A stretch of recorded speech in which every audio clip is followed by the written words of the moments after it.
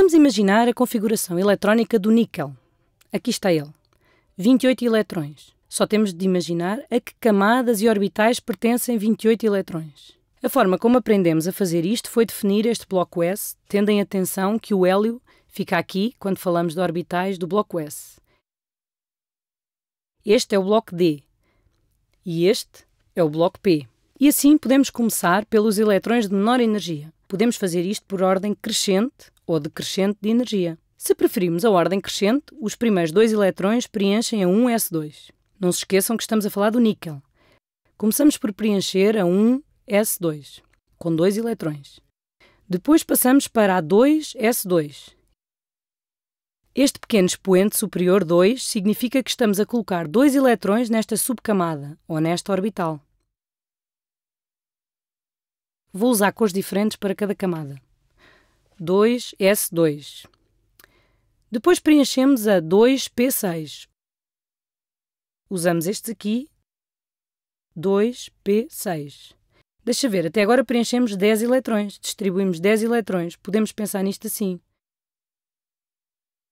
Agora vamos para a terceira camada, para a 3S2. Estamos a falar do níquel. Preenchemos na terceira camada a orbital P, 3P6. Estamos no período 3. Aqui, 3P6 são 6. Avançamos agora para a quarta camada. Ora, quarta camada, vou escrever a amarelo. Quarta camada, temos a 4S2. No bloco D, vamos preencher 1, 2, 3, 4, 5, 6, 7, 8. Vai ser D8. Não se enganem, não é 4D8 estou a ver que vou ter de voltar atrás para preencher a terceira camada, que é 3D8. Vou escrever aqui 3D8. Esta é a ordem que devemos usar sempre, dos eletrões do estado de menor energia até aos eletrões do estado de maior energia. Mas reparem que os eletrões no estado de maior energia, que são estes 8 que preenchemos no fim, entraram para a terceira camada. Quando preenchemos o bloco D, subtraímos 1 ao período correspondente. Estávamos no período 4 da tabela periódica, mas subtraímos 1, certo? Isto é igual a 4 menos 1. Esta é a configuração eletrónica do níquel. Se estivermos interessados nos eletrões de valência, que são os eletrões que estão na camada mais exterior, então temos de olhar para estes aqui. Estes são os eletrões que vão reagir, apesar de estes estarem num estado de energia mais elevada. Estes reagem porque são os que estão mais afastados, ou, de acordo com a minha interpretação, são os que têm uma maior probabilidade de estarem mais afastados do núcleo do que estes. Outra forma de chegar à configuração eletrónica do níquel, tal como é ensinada em aulas de química, é pensar: ok, o níquel tem 28 eletrões. Se for neutro, tem 28 eletrões, que é o mesmo número de protões e que é igual ao número atômico. Lembrem-se, o número 28 diz-nos quantos protões temos. Este é o número de protões. Estamos a assumir que é neutro, ou seja, que tem o mesmo número de eletrões. Não vai ser sempre assim. Mas quando estamos a determinar estas configurações eletrónicas, em geral é sempre assim. Se dizemos que o níquel tem um número atômico 28, então podemos determinar a sua configuração eletrónica desta forma. Podemos escrever as camadas de energia 1, 2, 3, 4.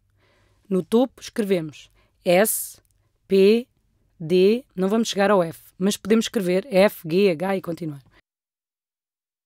O que vai acontecer é que vamos preencher primeiro esta, e depois esta, e ainda aquela, depois esta, e ainda esta. É melhor desenhar isto. Estas são as camadas que existem a verde. O que estou a desenhar não corresponde à ordem porque são preenchidas. Há uma subcamada 3D, mas não há uma subcamada 3F. Há uma subcamada 4F. Vou desenhar aqui uma linha para ficar mais claro. E para as preenchermos, desenhamos estas diagonais. Primeiro preenchemos esta camada S. Depois preenchemos esta.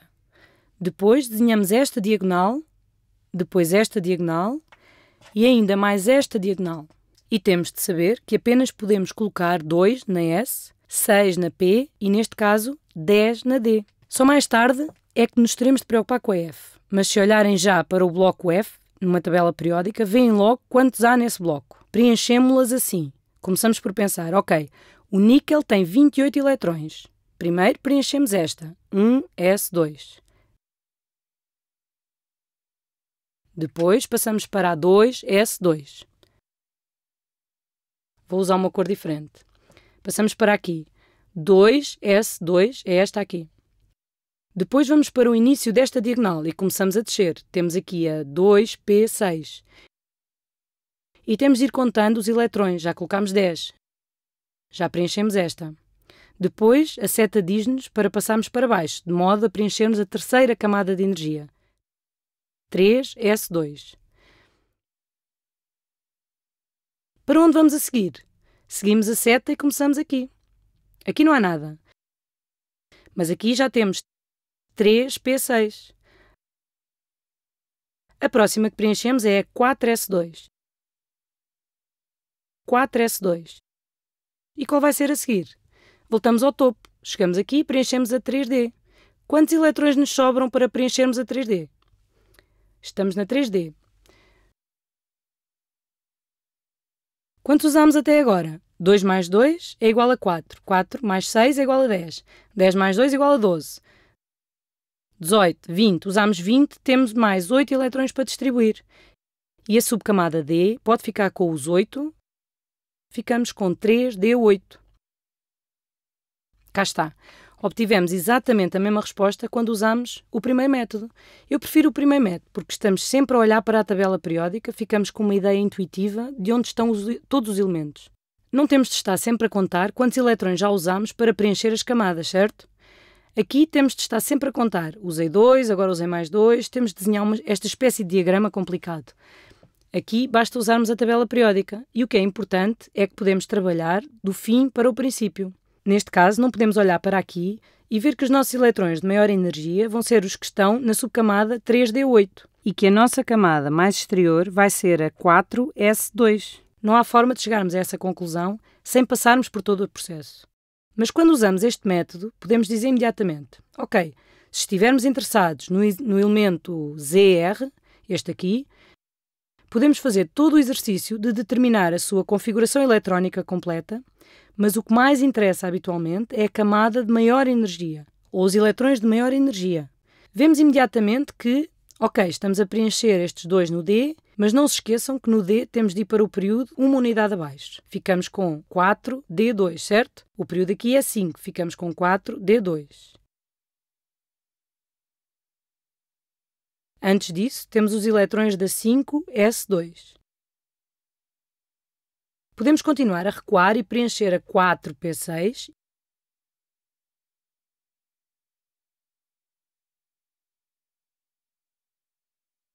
e antes de encher a 4P6 tínhamos 10 aqui na D. Mas que camada é esta? É de período 4, mas na D, e por isso temos que subtrair uma unidade ao período, por isso fica 3D10.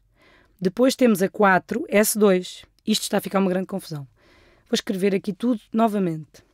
4D2 são estes dois aqui. Depois temos a 5S2, depois a 4P6 aqui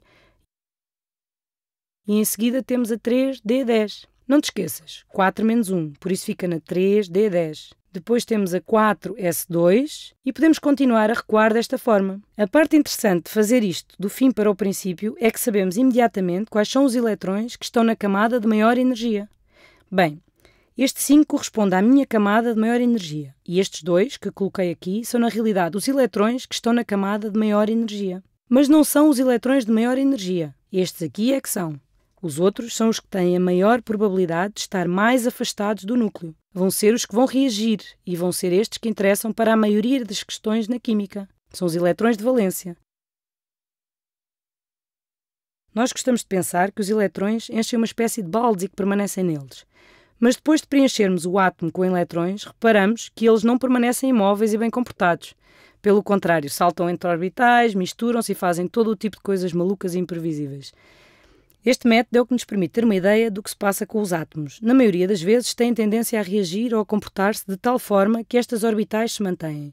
Seja como for, O principal objetivo deste vídeo é ensinar-vos a determinar as configurações eletrónicas, pois isso é muito útil para saberem como é que as coisas interagem. E o que é particularmente importante é ficarem a saber que os eletrões que estão na camada exterior são os eletrões de valência.